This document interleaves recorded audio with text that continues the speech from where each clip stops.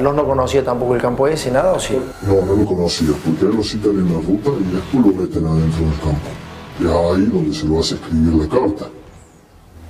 El que le escribe la carta a los, pues ya al último, antes que lo maten. Y después de ahí se lo sacan. Por eso el auto no se encuentra nunca.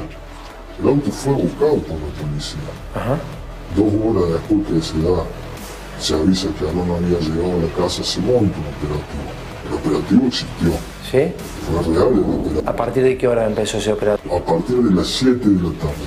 A las 7 de la tarde, cuando Alonso no llega a la casa, a la viuda de Alonso se le manda personal de droga a la casa y se monta un operativo con la gente de la brigada y de la patrulla de Bosque Alegre y todo eso para ver si se encontraba el auto no en la ruta que aparece esa ruta se, se se recorrió varias veces varias veces Claro, o sea, ¿cómo puede ser que Alonso se hubiese suicidado en esa ruta si obviamente un operativo por la ruta tiene que pasar?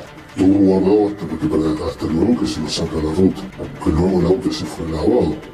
Cuando se entrega de vuelta a, a la policía, ese auto automáticamente es lavado. Está bien, y esa, y esa orden le da Morillo. El de lavar el móvil, sí, porque el fiscal ya había, según él, había terminado las actuaciones. ¿Y a usted no le llamó la atención que tenían que lavar tan rápido el vehículo? Y a todo el mundo le llamó la atención. Pero muchas veces eh, uno recibe órdenes nomás.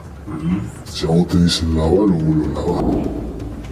Porque ya la, recibieron la, la fiscalía, ya dijo que no había más nada que hacer, entonces se hace de esa manera. Se hay constancia en un libro de guardia. ¿Y no le da a usted un poco de angustia eso que si lave un vehículo, alguna vez le pasó a usted que a un- una persona que se hubiese suicidado a un crimen a, eh, a menos de tres horas de haber sacado el cadáver, se lavara el vehículo? No, gracias a Dios no me pasó y no sé si lo hubiera hecho, más cuando una persona conocida como Juan Alonso.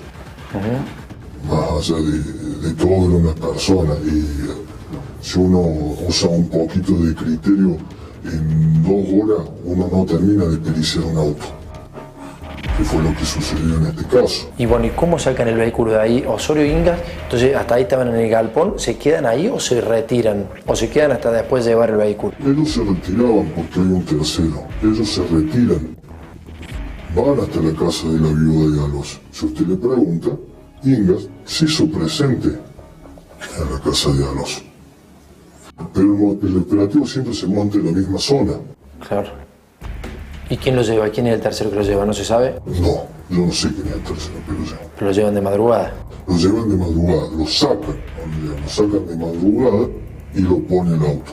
Cuando vuelve a pasar la patrulla, la patrulla lo encuentra rápidamente. Es que es simple, es casi de, de- de sentido común, ¿no? No te fijas la mancha de sangre, el parante, el techo del auto, con un calibre 9 milímetros, con punta chata, ni siquiera le marca la chapa. ¿Entendés? La fuerza de choque es de 50 kilogramos. Estoy tirando una bolsa de cemento en una punta.